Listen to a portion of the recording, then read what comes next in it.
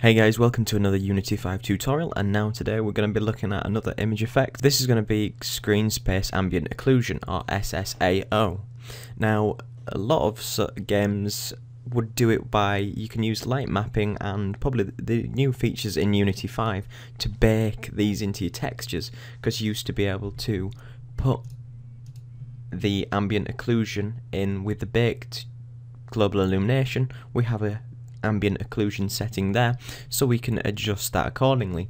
Now if you want it to have a more of a real-time look or you're struggling with baking your textures out especially for Unity 5 this also did work for you with Unity 4 but I think it's a really nice effect.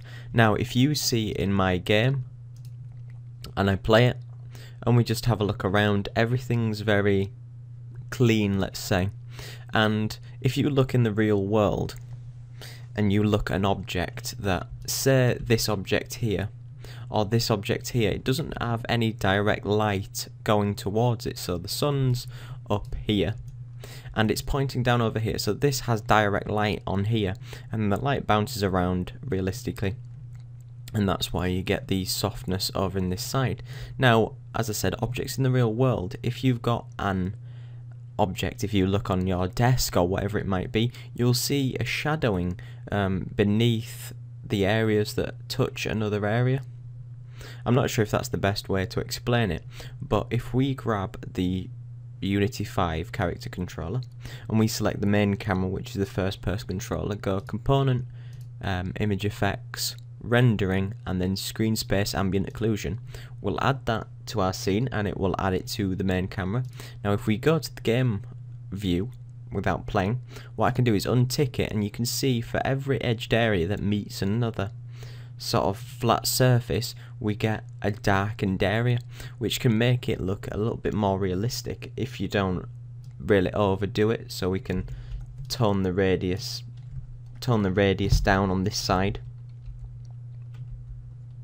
to about 0.2 you can increase the sample count which will increase the sort of overall quality. You can increase the intensity so it gets darker and darker and that might be if you want a sort of stylized look for your game. If you want it to look maybe more cartoony and you can see between each of the areas we've got the actual darkened areas. You can increase the blur amount. I'll go back into there blur. You need some blur or it'll look and we take it down it'll look very odd and patchy.